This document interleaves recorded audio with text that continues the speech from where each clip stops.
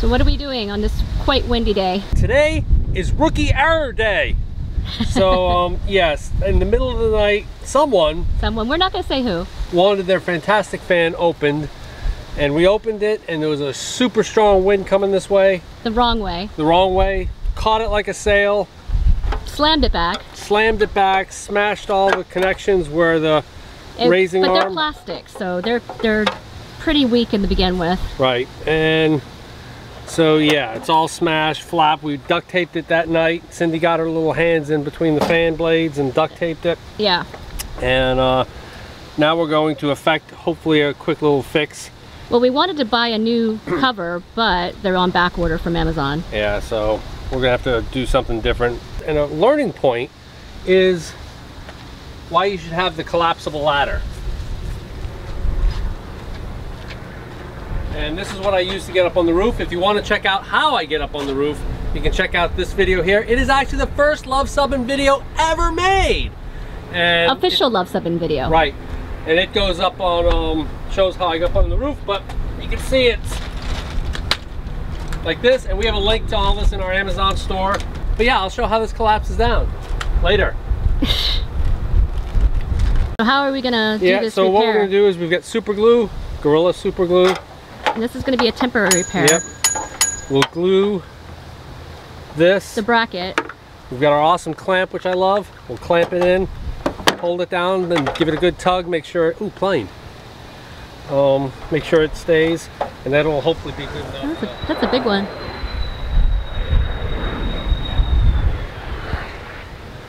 So let's go ahead and do that. Every Airstreamer should have a ladder. Now if you've got a regular RV with the ladder on the back with the flat roof, uh, you probably don't need this. But if you've got an Airstream with no way to get on top, you definitely need one of these.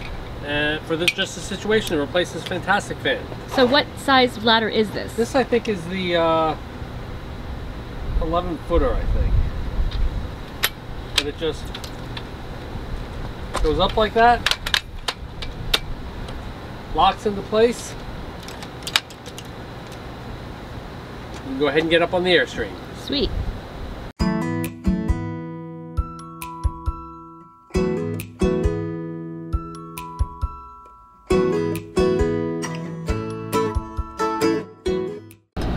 Let's see if it works, right? Works? Works. All right. I bet that fix will last another 20 years as we carry that other fan around. Yeah, absolutely. So back in Melbourne, we lost one of our fantastic fans. We opened it up, rookie error, opened it up like this. The wind was going this way and it, It snapped the Snap the plastic. plastic holders. fittings. And you can see how that, on this new one that we've ordered. And we got this on Amazon. Yep. It was You like see how 60 that's- bucks. The bracket here is held in place just by these plastic things here. So if it catches, The it's wind. gonna break those things It'll easily. easily break. So we had a temporary fix, glued it down, but that temporary fix has since departed. So we're going to uh, go ahead and put the uh, brand new one on. So I've got my little cup to keep my screws, my electric drill, the ladder that we carry. Yep. We'll get up on the roof and replace this fan.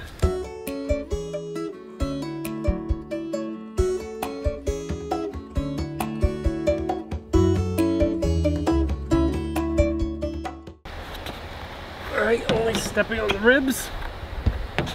This is the one that's broken. So we'll show, you can see where they broke right there. Yep. So now we've got a good one. So you can see what cracked there. And nothing you can do about that. We did have a temporary fix so that when we put it into storage, nothing happened to it, so that's good. We had to wait a couple weeks to get a fantastic fan cover replacement, so we got that on Amazon and it was about $60, but sometimes they're not always in stock. So I think we're done upstairs. So today is fixing things in beautiful places. Often when we're on the road, we have a maintenance day, and so that's what this is. And we're still having trouble with our refrigerator door, and we're just trying to see if this will work. So we've got the glue again, and we're trying a different technique where we're shimming it in from the bottom. and seeing if it'll work that way because the last time I don't think the back got glued in place. So we're gonna see if that works and we're gonna go run some errands while this is drying and see what happens. So we have been looking for a locksmith to do our blanks for us since we left Georgia, since we discovered that we left my Airstream keys back in Vermont. And believe it or not, we actually had spare blanks in our spare parts kit. And we've had those probably for 10 years plus, so and we never needed to use them. So and it, there's was, a there's a great phrase in aviation that says the two most useless things to a pilot are the fuel left at the airport and the altitude above you. And I would have to say that from a key perspective, the most useless thing is to have a blank with no cutting in it. Right. But we never felt the need to have that done, but it was nice to have the blanks there just in case. But we had it done finally found a place after what nine attempts. We went to lowes they wouldn't do it. They did went to ace they wouldn't do it. Yeah most of the big box stores will not cut a key if you bring the blanks. They will only cut the key if you buy the blanks from them. And getting airstream blanks are kind of unique. Well they're they're trimark keys and so i think it's like all rv keys but they're little bit more specific than the ones that they're going to have at any of the big box big home depot stores they're going to be all like house keys and stuff like that right. so and by the way, for those people in doing our research that say that every there's only one RV key that opens up every RV, that's wrong.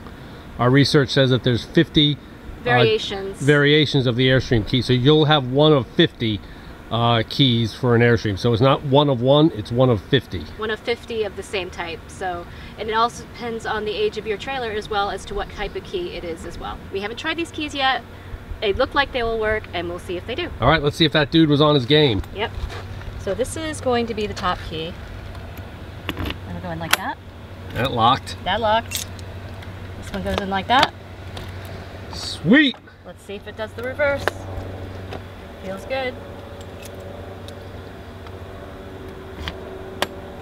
All right. Yep.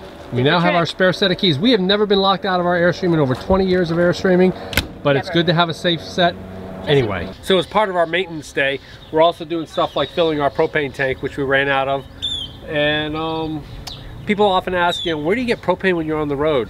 Well, our go-to is always Ace Hardware because they're around everywhere and they're usually right, you just pull in the back almost always.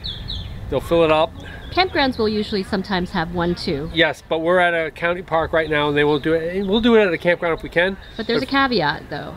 Yes, and so especially for a place like Ace Hardware, uh, campgrounds, kind of, sort of, but definitely Ace Hardware, they're going to check to make sure your certification date is up to date. And they will not fill a tank that's not certified properly. You can see my I'm on a five-year recertification program, so I'm August of 2018 these were recertified. So before August of this year, I'm going to have to have this tank uh, recertified. So, so you got to make sure you have that sticker if it's more than uh, 10 years old initially and then every five year they're uh, 10 or 12 I'm not sure I'll have to look at that I'll leave the link to actually what it is whether it's 10 or 12 from the data manufacturer and then every five years after so where would you get this recertified yeah, excellent question we have a lot of like big propane dealerships will um, recertify tanks that's where we go up in Vermont you know our tank was made in August of 2004 so yeah so is there a limit for the renewal or nope. will, as long as it looks good? As long as it looks good. They're going to inspect it, well, for rust, but this is aluminum, so there's not going to be any rust on this, but they're going to inspect it for any damage, dings. They're going to make sure that you've got the right uh, over protection device, OPD valve on there. Um, so yeah, full propane, we're good to go. So I have one of these L-shaped brackets that we use to mount like uh, the closet and stuff like that anytime or I've also used it to reinforce the drawer hinge. So uh, we, there's multiple uses for these. So what I'm doing right now is I'm going to hack it in half using my hacksaw. We always have a hacksaw. Lube it up a little bit. Why do you lube it up? When you're cutting metal you want to keep it lubed. I usually why? usually, because of the friction oh. it, it's not like wood so which is really soft so I, I usually use 3-in-1 oil but it was buried so WD-40 will be good enough I'm gonna hack this. Will the edge be sharp?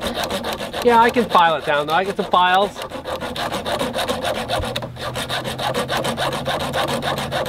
And then we're gonna use this bracket to reinforce the hinge. Well, we'll see if that works. We'll see if it works.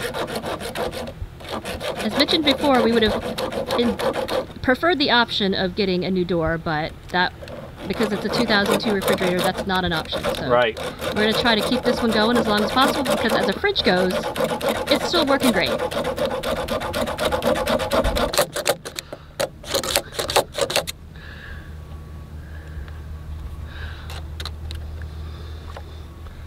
All right.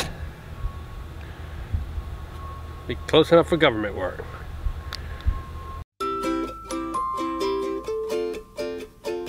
And what I'm going to do here is bend this to get that to match That angle that there. angle right there.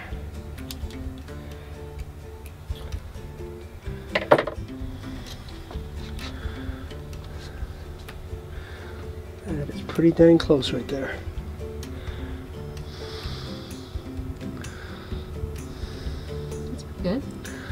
Pretty good, huh? We'll see if it works.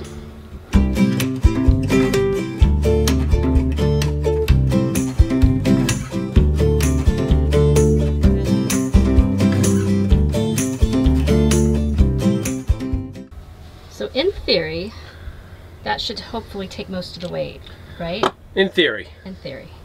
You want to tighten it up a little bit It's more? tight. It's tight? Yep. Do we want to see if it's going to work? Yep. So we're going to pull out the wedge down there. This should be exciting. We're going to be very gentle with it. Don't let it go. Doesn't seem to be shifting too much. Alright. Did it seem to work a little bit. I think so.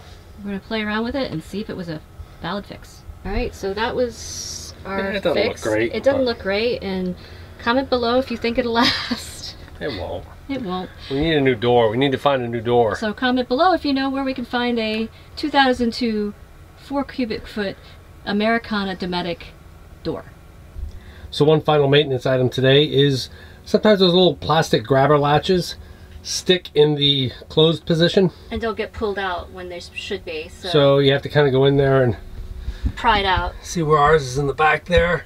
It's in the closed position, And that's why I've, we implore Airstream to do a better job with their latches. right? But in the meantime, we'll just open it up. Yep. And usually this happens in the most inconvenient time when we're trying to take off or do stuff, so we're gonna fix that.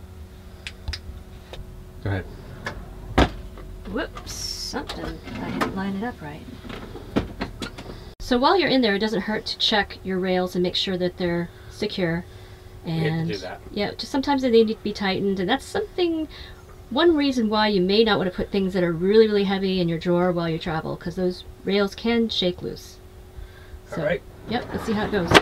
Yep. Good job. Well done. So hey, if you like this video, Give us a big thumbs up. and if you think we've earned a subscription, click to subscribe. And comment below if you've been uh, such an idiot to let your fantastic fan blow off. Because we come out with RV and Airstream related videos just like this one every Tuesday. Thanks for watching.